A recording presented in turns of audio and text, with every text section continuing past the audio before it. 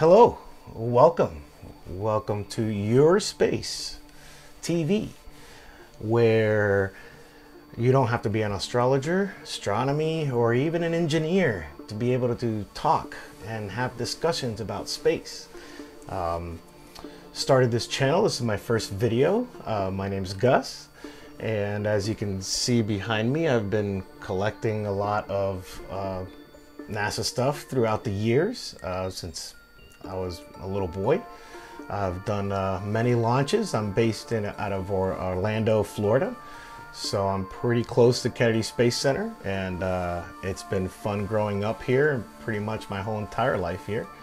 But I wanted to start this channel. This is my first uh, show, but um, pretty much introducing myself and seeing where the channel might go. I would, I'm looking forward to meeting the community and meeting friends and, and um, certain uh, types of people that are old, young, um, people that just want to learn briefly about space. Like I said, I'm not really an engineer, so my lessons, if you even want to call them lessons, would be brief.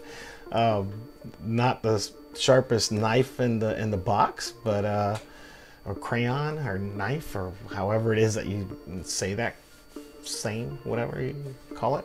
But um, I just decided on just hitting record and getting to know you guys.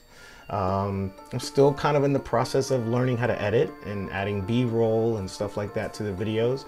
Um, and mostly not to get a copyright strike, um, but to still learn about the fair use. So it's a thin line in a book, pretty darn big.